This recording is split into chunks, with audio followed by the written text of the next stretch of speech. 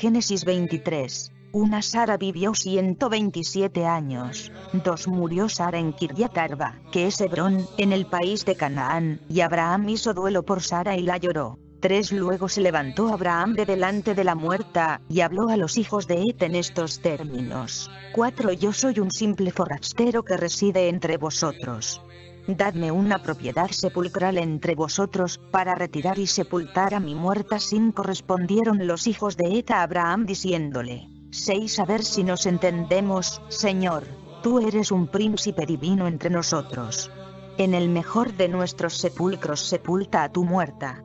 Ninguno de nosotros te negará su sepulcro, para que entierres a tu muerta. 7 Levantóse Abraham, e hizo una reverencia a los paisanos, a los hijos de Ed. 8 Y les habló en estos términos. Si estáis de acuerdo con que yo retire y sepulte a mi muerta, escuchadme e interceded por mí ante Efrón, hijo de Sohar.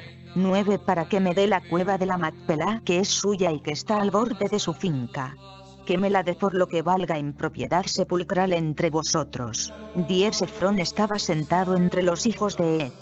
Respondió, pues, Efrón elitita a Abraham, a oídas de los hijos de Et y de todos los que entraban por la puerta de la ciudad diciendo, 11 No, Señor, escúchame. Te doy la finca y te doy también la cueva que hay en ella.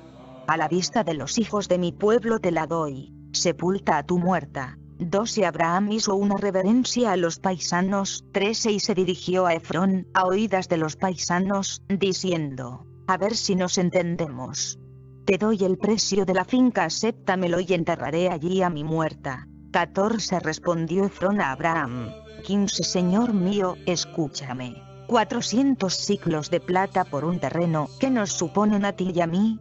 Sepulta a tu muerta 16 Abraham accedió y pesó a Efrón la plata que éste había pedido a oídas de los hijos de Ed.